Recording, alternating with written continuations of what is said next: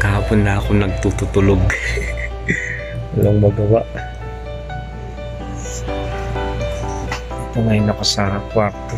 Yan, nakabukas ang aircon. Malamig. So mamaya lalabas tayo. Yan, ganyan lang ang buhay-buhay ko. Kapag day off ko. Maglalaba.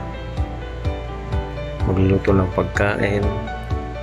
Kakain. Magpe-Facebook konti. Manood ng YouTube. Tapos matutulog kayan pagkagising. Mamaya lalabas ako at ah, itong kama to nalagyan ko siya ng frame dito para yung magamit ko patong ko dun sa taas nakapanglambot na yung tulog ng tulog maghapon. So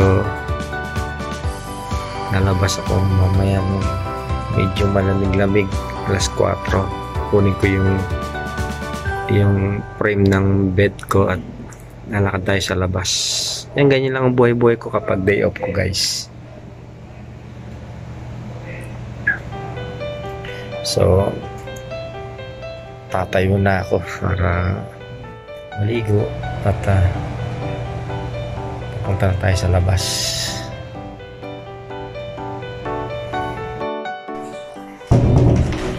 Lalabas na ako at pupunta tayo din sa kabilang room. Katatapos ko lang maglaba. Ito yung rooftop namin. Ayan. Makita nyo ito yung mga nilaban ko mga damit ko at saka uniforme ayan kumot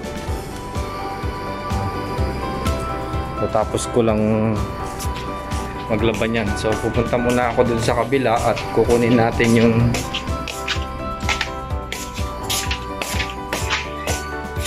yung bed ko.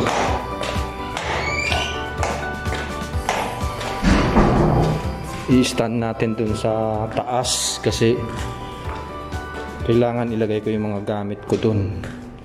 Ang dami ko kasing gamit galing sa Albaha. Yung mga kahon ko. So, kukunin natin doon sa kabilang bahay. Dalawa kasi ang accommodation namin. Itong tinitiran ko na ito, ito yung inuupahan namin at yung doon sa kabila, yun yung pag-aari ng kumpanya namin. Yan ganyan lang ang ano ko trabaho ko pag Friday. Ito yung accommodation namin. Dyan yung office. Yan doon sa taas. Yan yung inuupahan ng kumpanya namin. At ito naman yung service namin. Ayan yung mga sasakyan namin. Ayan. Sa tabi lang kami ng highway Ayan. So lakad na tayo. Punta tayo doon. Mga limang minuto lang yung lakaran doon. Kukunin ko yung stand ng bed ko. Tayo na po. At maglakad-lakad tayo muna. Maghapon nagtutulog na ako. Nakakapaglambot din yung tulog ng tulog. Kailangan lumakad din tayo. Ayan yung lugar ko. Nasa tabi kami ng highway. At ang syudad dito napakalayo. Isang oras ang biyahe. Ang pamasahe is 30 real. Takbo tayo. Sa kabila tayo dumaan.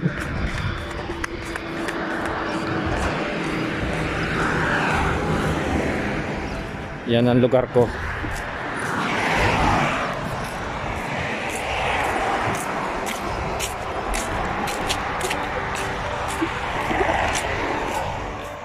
Sabi nila wala na raw yung no more mask. Paganahin naman natin tong no more mask nga sa daan. Pero wala naman pulis eh. Pero maglagay pa rin tayo mamaya may dumaan na pulis at Mag-penalty tayo ng isang libo. Lakad tayo. Diyan ako sa side na to sana dadaan eh. Pero dito na lang. Para maganda. At napakadelikado dito sa side. Takbo na naman tayo.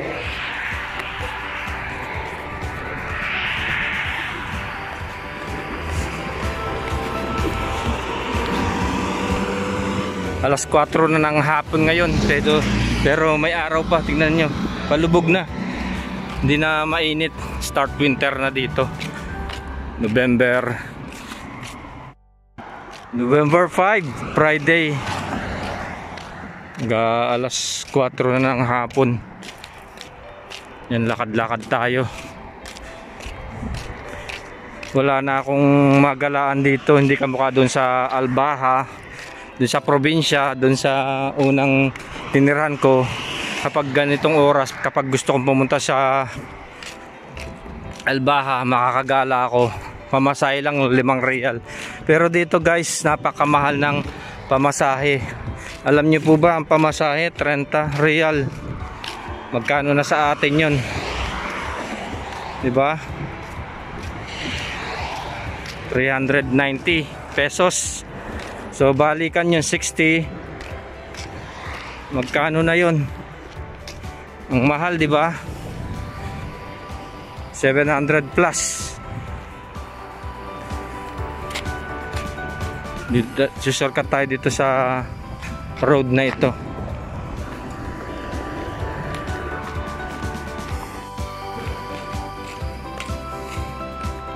Gandaan tayo dito sa gilid. Dito walang masyadong sasakyan kumpara doon sa highway kaya dito ako dumaan para dire-diretso. Mahirap na baka ma-disgrasya tayo at ma-aksidente sa sasakyan. Ang bilis pa naman ng mga sasakyan dito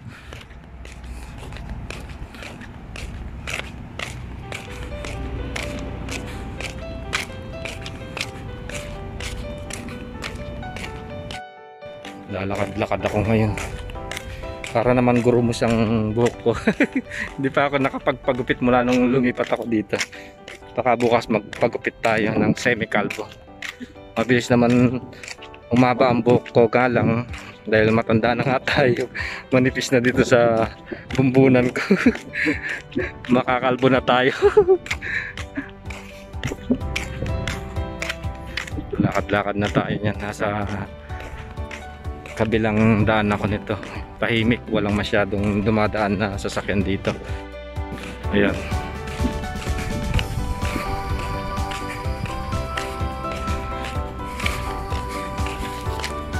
Minsan naiisip ko na na umuwi na sa Pilipinas. Kaso uwi ka sa Pilipinas wala kang trabaho wala kang kita. Di ba? Napakahirap naman yun na mag-uumpisa ka na naman ng uh, negosyo. Lalo na ngayon di ba may mga pandemic.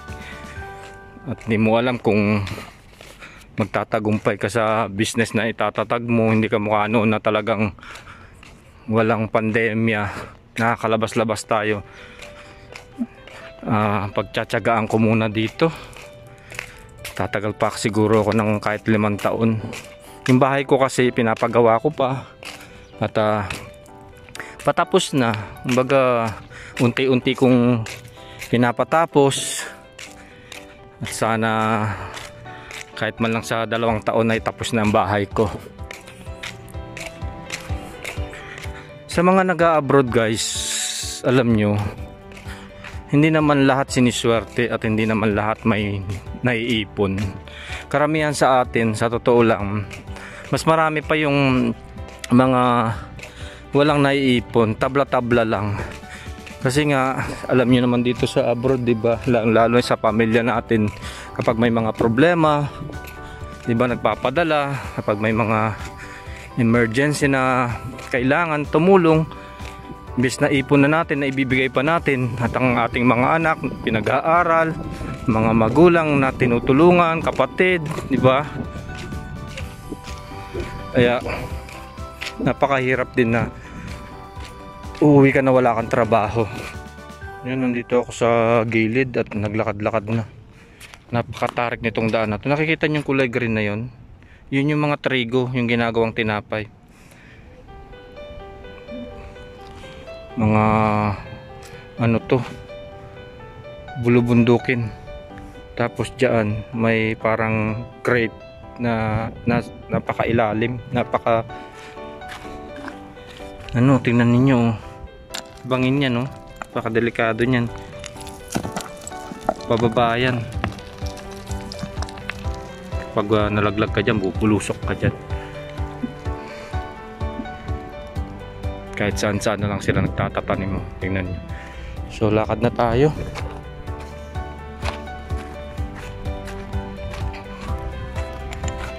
Pinak pinakita ko lang yung taniman nila doon na ano, trigo.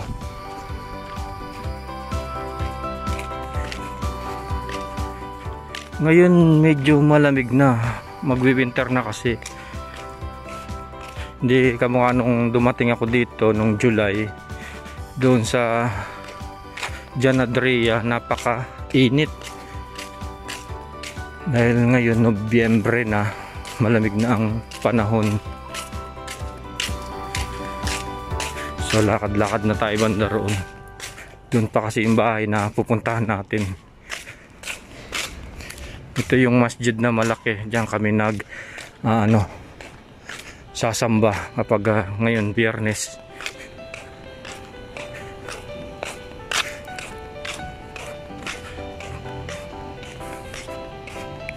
So lakad-lakad po tayo banda roon pa. Medyo malayo-layo.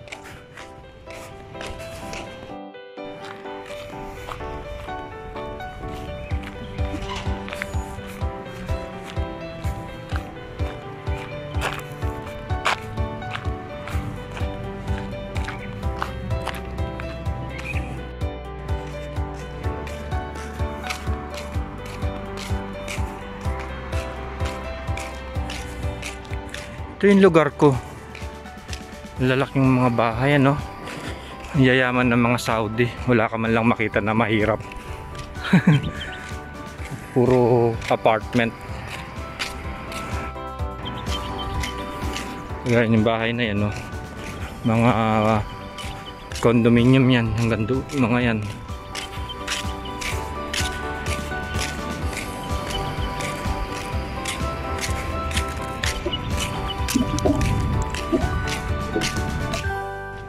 Ito malapit na tayo sa bahay namin. Yung mga bahay ng mga kasamahan ko. Ayun, nakikita niyo yung bahay na yan, doon kami. Yun ang pag-aari ng kumpanya namin. At yung bahay ko doon, yun yung inupahan nila sa office. Kasi nga napakarami namin. Hindi naman kami kasya dyan sa bahay na yan. Tsaka pinagbawal ng Ministry of Health na kailangan meron kami mga social distancing, 'di ba? Yung may pandemya, hindi pwedeng marami sa loob kaya pinag-iwalay kami. At baka magka penalty tayo doon sa sama-sama. Sa isang kwarto,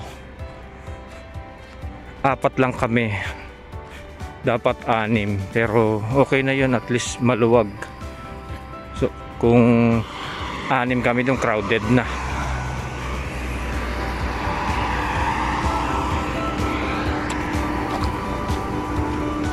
So, ito na yung bahay namin.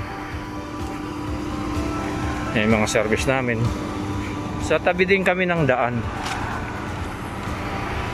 Yan sa highway. Yan yung mga service namin.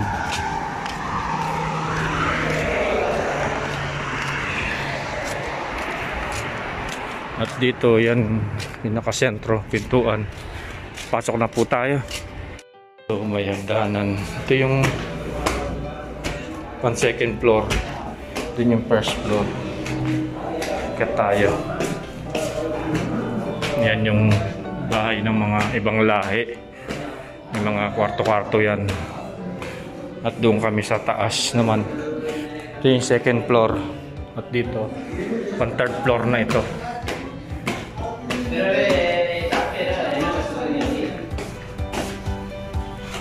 Ayan. Ito yung kwarto ng mga kasama ko. Patok tayo. Opo.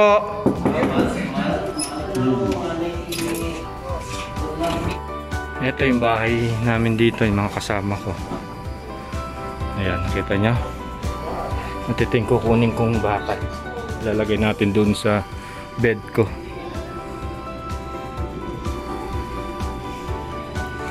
May mga upuan sila, sopa.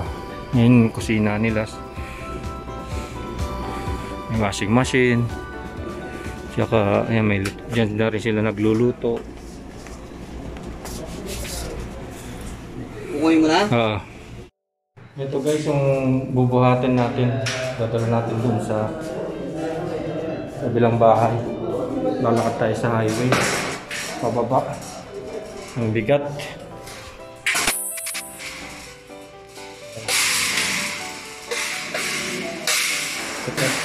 Sa third- floor ako lang.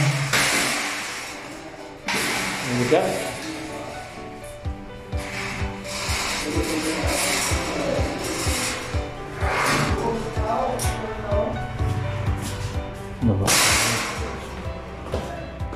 Galing ako sa third floor. Ito pang first floor na ito.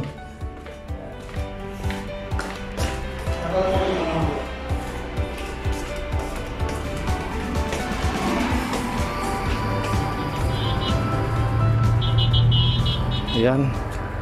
Ay, pagod.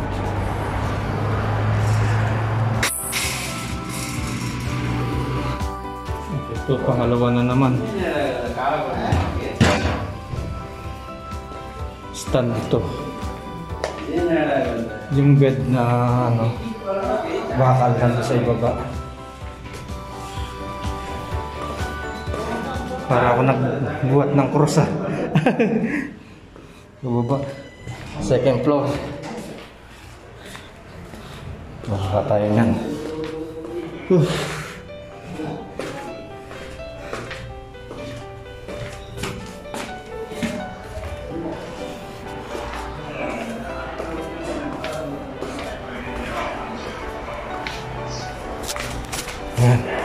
Sa baba na tayo.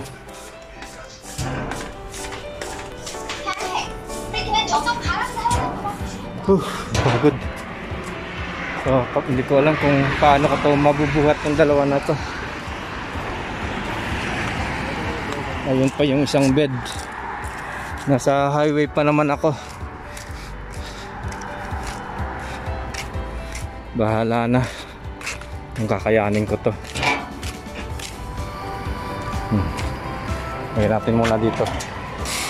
Ayan. Ito yung bed ko. Pupunta ko doon sa bahay ko. So tayo na. Bubuhatin na natin itong katre para akong bionic dito. Maglalakad pa ako.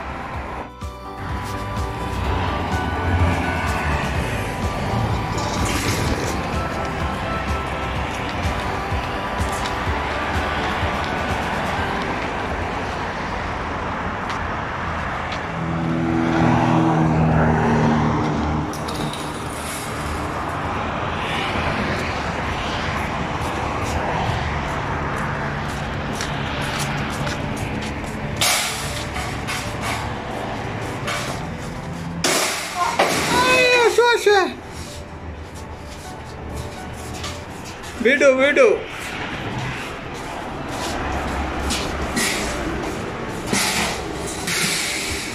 hello Officer. So ayan guys, nandito na ako sa bahay. Hindi ko na siya pinul kasi nadaan tayo sa highway. Ito mga binuhat ko. Ang bigat! Grabe.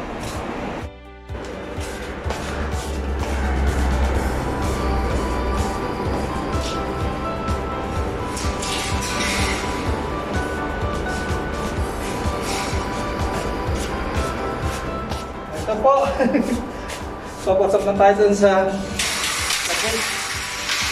Parang bionic. Ang bigat. Nasa 30 kilos siguro itong bed na to. Uh, sakit ng kamay ko. O, sige guys. At ah, yan, na ako sa bahay at ayan yung bed ko at iakit pa natin dun sa third floor. Pagod na pagod ako. So una muna natin itong ano bed.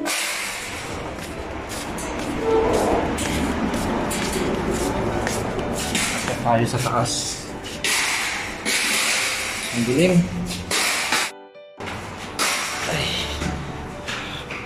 Nakakapagod.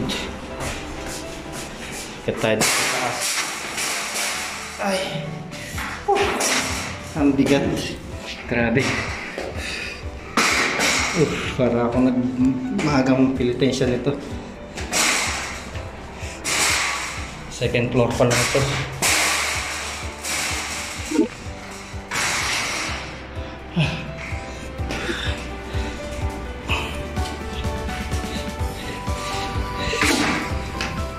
So iwan muna natin dito. Kunin muna natin yung frame niya. Para may sangan na lang. Baba tayo uli. Nasa baba na ako. Ito na naman frame. Whew, kapagod. Grabe.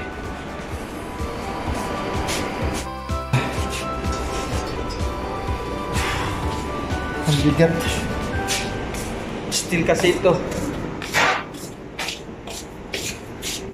Tayo sa para akong langgam na nagbubuhat ng bigas papunta sa mga bahay.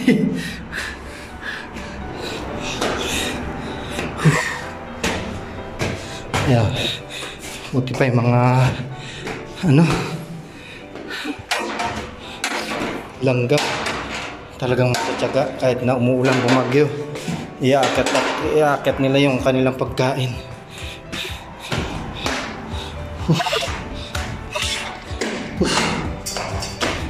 so ayun dun pa sa tuktok galing ako sa baba last na lang to tsagaan na salamat nakarating din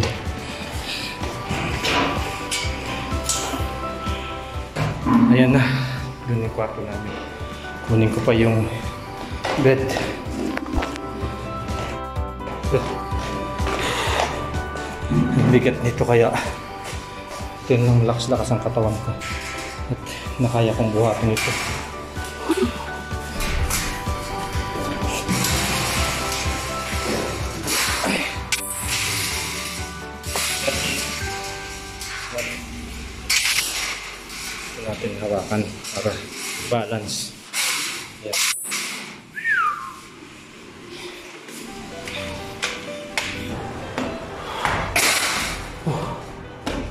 Kamay, grabe.